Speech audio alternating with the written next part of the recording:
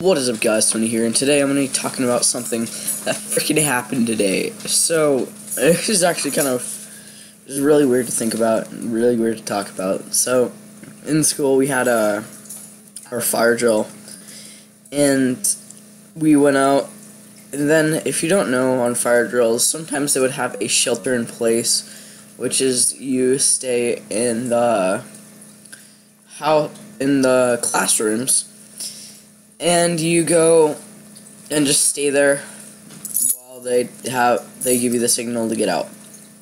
But this time is different.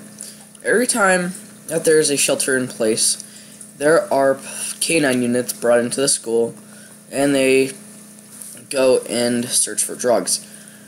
The thing is, this time we heard the dart the dog bark just about, from rumor has it, five times in different locations.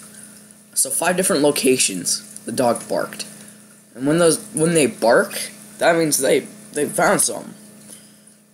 And what we're going off of is rumors right now. I mean, a lot of people heard the dog bark, and we all know that's why. But there's rumors going around that someone said that there's somebody brought marijuana or something in the school. So, yeah. Lesson learned, kids, don't do drugs, otherwise the whole freaking school's gonna know about it.